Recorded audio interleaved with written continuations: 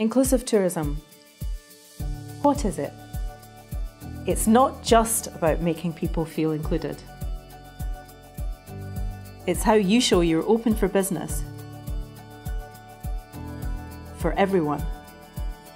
Every year, British companies miss out from groups who can't access their services. The LGBT community spends £80 billion. Senior travellers spend £320 billion. And disabled visitors spend £13.5 billion. You can make a real difference to individuals, to your community, to everyone.